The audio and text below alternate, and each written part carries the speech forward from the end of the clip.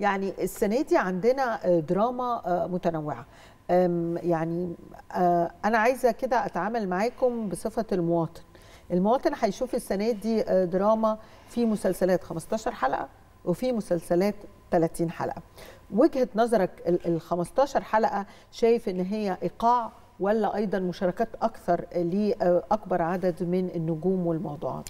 الاثنين اولا إحنا مرينا في لحظة إنه المسلسل بيكمل معايا من أول حلقة لحد الثامنه التاسعة وبعد كده بيبقى فيه جاب كده بلا أحداث أو أحداث مختلقة الناس كلها بدأت تكتشفها ويرجع مثلا في 26 27 آآ آآ يصحى المسلسل من جديد ويقفل كل الخطوط الدرامية إيه اللي اتفتحت خلال الحلقات اللي قبلها.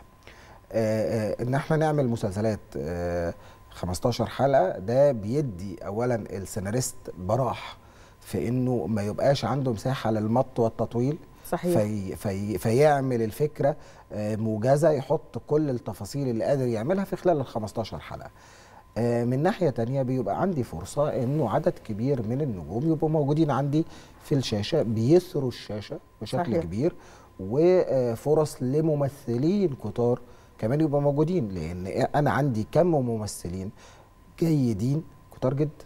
صح. ممثلين شاطرين جدا جدا موجودين. وهو بيبقى زي الماراثون أو المهرجان الرمضاني. بالظبط. فبتبقى فرصة إن أنا كمان يعني تبقى الطلة لأكبر عدد من النجوم. عشان الجمهور كمان عاوز يشوف نجوم صحيح. ده مهم. وأنا لما أقدمهم له في الموسم الرئيسي بتاعي اللي هو الموسم الرمضاني أنا. أنا بعمل ده ليه؟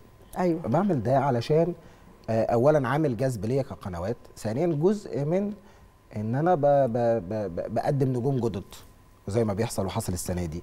وبقدم نجوم كبار بيعملوا دراما تلفزيونية طول تاريخهم دراما جيدة جدا زي الأستاذ يحيى الفخراني السنة دي مثلا وأسامي كبيرة موجودة.